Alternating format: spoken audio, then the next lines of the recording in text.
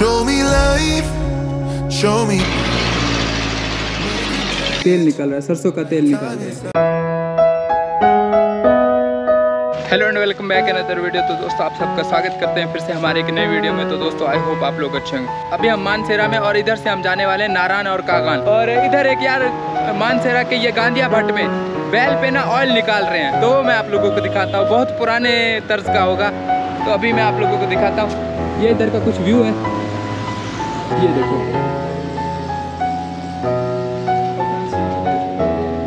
ये कोली से तेल निकल रहा है सरसों का तेल निकाल रहे हैं। यहाँ पे तेल की वजह से निकलता सरसों वाला यहाँ पे देखो, इस तरीके से बेल अभी के बेल के ऊपर से और आँखों में पट्टी बंधी है तो वो चलता रहे चलता रहे। ये वही बैल है जिसने इस धरती का बोझ उठा रखा है। तीन बैल लगते हैं एक दो तीन।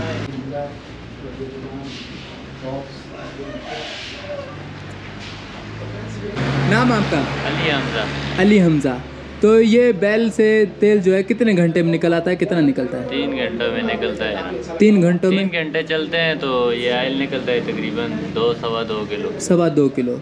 और सरसों कितना डालते हैं? सरसों छः सवा छः किलो सवा है। छः किलो डलती है। और ऑयल कितने रुपए किलो मिल जाएगा? एक हज़ार रुपये किलो। एक हज़ार रुपये किलो। हम थोड़ा सा बाहर जाते हैं क्योंकि बैल ना आँखों पे पट्टी है ना वो डिस्टर्ब हो सकते हैं। भाई ने बोला थोड़ा सा बाहर जाके आप बात कर लो लेकिन इधर बैल डिस्टर्ब हो गए तो फिर इन्हें हैंडल करना बहुत मुश्किल होता है। उल्टा घूमना स्टार्ट कर देंगे।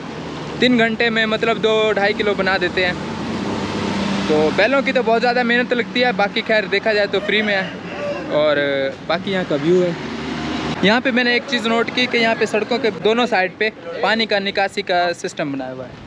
ये पानी की निकासी का क्योंकि यहाँ पे बारिशें हर टाइम होती रहती है हर डेली बारिश होती है तो इस वजह से पानी की निकासी का सिस्टम बहुत अच्छे तरीके से बना है। और ये सभी पहाड़ों के ऊपर घर है। घर जो है पहाड़ों के ऊपर है और नीचे ज़मीन में पानी चला जाता है जब बारिश आती है तो।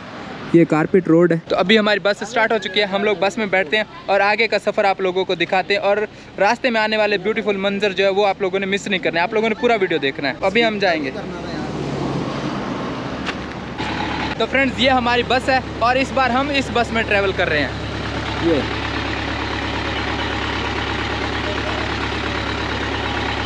तो फ्रेंड्स सचिन भाई वाले अब इधर रहेंगे हम लोग जा रहे हैं। मैं तो बोल रहा था यार डल देते तो अच्छी बात है। ये कि आपको पता है आजकल महँगाई का दौर है तो थोड़ी मजबूरी होती है। चलो कोई ना कोई ना।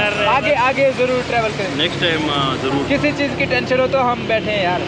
यार आप हमारे इलाके आए हैं? बस जो भी खिदमत हो हमारे लायक हम नहीं भाई बहुत खिदमत की है भाई ने बहुत नहीं यार हमने क्या किया ये तो सेवा है। बहुत बहुत बहुत ये सेवा की संगत की करते हैं जो भी संगत। यहाँ पर आती है ये तो सेवा है बस महादेव किस किस से सेवा लेते हैं? तो बस ये तो उनकी अपनी वो है लीला है बस वो किसी किसी को चुनते हैं सेवा के लिए तो हमें इस दफ़ा मौका दिया तो।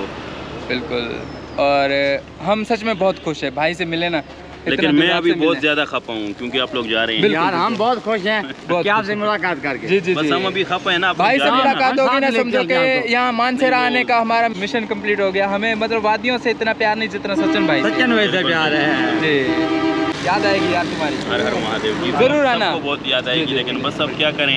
आप इतने दूर के के time, नेक्स्ट टाइम इन्होंने भी बहुत बहुत यार सेवा की है बहुत बड़ी ये हाँ। जी ये भाई भी बहुत शिमलाई प्यारे यार शिमलाई वाले। क्या किया शिमलाई नंबर वन एक ये डायलॉग इनका शिमलाई नंबर वन शिमलाई नंबर वन बोल दीजिए आपने आप आप खुद बोल दीजिए। नहीं ये आप आप आप कह दीजिए। ये शिमलाई नंबर वन शिमलाई नंबर वन तो ये भाई भी भाई आप अपना नाम बता दें। रोशन लाल रोशन लाल तो इन तीनों ने यार इन सभी लोगों ने इधर के लोगों ने बहुत तामन किया और मतलब किसी चीज़ की तकलीफ़ नहीं आने दी हमें। तो अभी हम चलते हैं और अपना सफ़र एंजॉय करते हैं। चलो ठीक है भाई। ओके बाय बाय चलो ठीक है। जय ओके श्री राम। जय श्री राम जय श्री राम। हर हर महादेव। हर हर महादेव। ठीक है?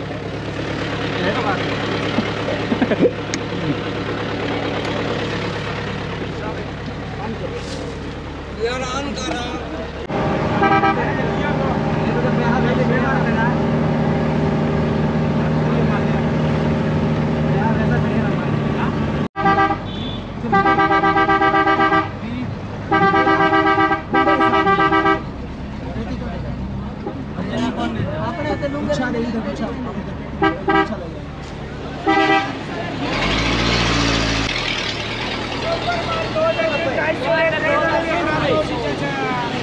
ढाई सौ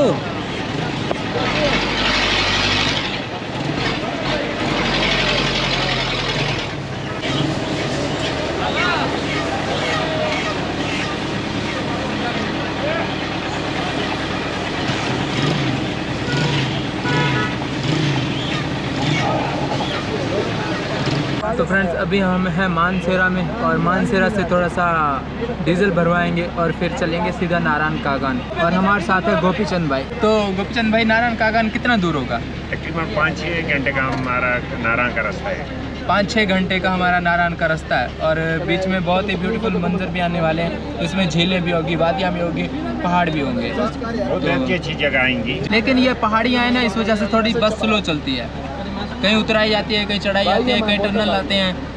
तो वो सभी आप लोगों को रास्ता सारा दिखाएँगे। आप लोगों ने वीडियो को सिर्फ़ बिल्कुल भी नहीं करना। और ये इधर का कुछ व्यू है। रामचरण भाई भी है सागर भाई भी है और प्रीतम शर्मा, और ये तोरस भाई, और ये सब हम लोग सात सात लोग जो हम एक जगह से बाकी सभी भी मतलब बस में तो सारे साथ ही हैं लेकिन थोड़ा एरिया डिफरेंस है, कोई किसी गाँव से है, कोई शहर से है तो हम लोग तो सिटी रहमियार खान से सात लोग हैं। ये हमारे साथ विशाल भाई भी है। जय श्री राम। और गोपीचंद भाई को आप पहले भी वीडियोस में देख चुके हो हिंगलाज माता वाली में अब भी देखोगे अब नारायण काकान तक और जितनी भी वीडियोस बनेंगे उन सब में देखोगे। हम लोग आगे बैठ के सब कुछ आप लोगों को दिखाएँगे। ड्राइवर के साथ बैठे हैं हम लोग।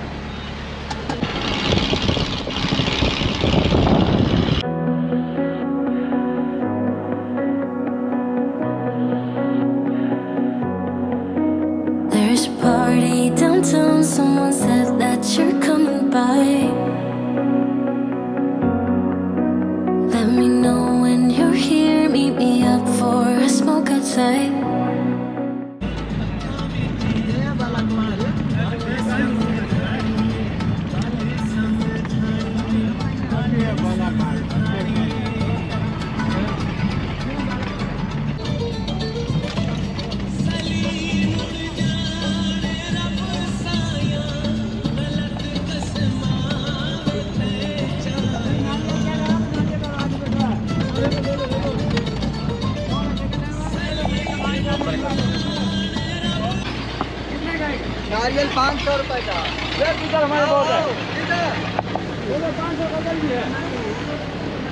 तो फ्रेंड्स हम लोग अभी इन पहाड़ों के दरमियान से होते हुए मानसेरा से सीधा बालाकोट की तरफ़ जा रहे हैं। जो लोग कभी नारायण काकान गए हैं उन्होंने ज़रूर बालाकोट शहर को देखा होगा। क्योंकि नारायण काकान की तरफ़ हम लोग इसी शहर के अंदर से होकर जाते हैं। बालाकोट मानसेरा से 38 किलोमीटर नॉर्थ ईस्ट की तरफ़ पड़ता है। मानसेरा से बालाकोट का सफ़र बहुत ही खूबसूरत है, क्योंकि रोड के दोनों तरफ़ नज़ारे हैं। जंगल नुमा वादी, ऊँचे नीचे पहाड़, कभी उतराई, कभी चढ़ाई, सफ़र को और ज़्यादा खूबसूरत बना देती है।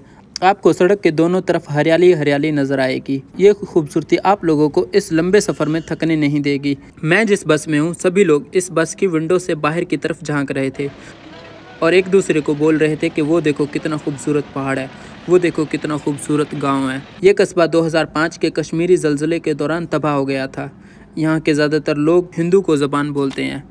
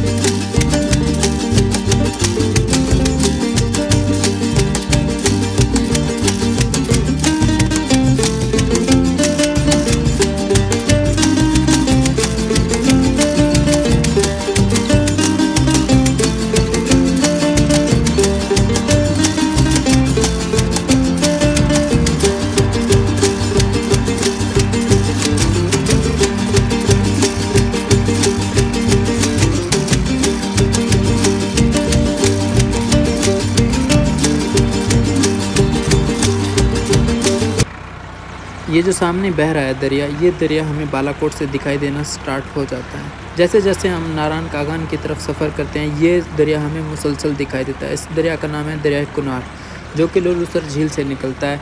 झील सैफुल मलुक और बहुत सारे आबशारों का पानी इसमें गिरता रहता है।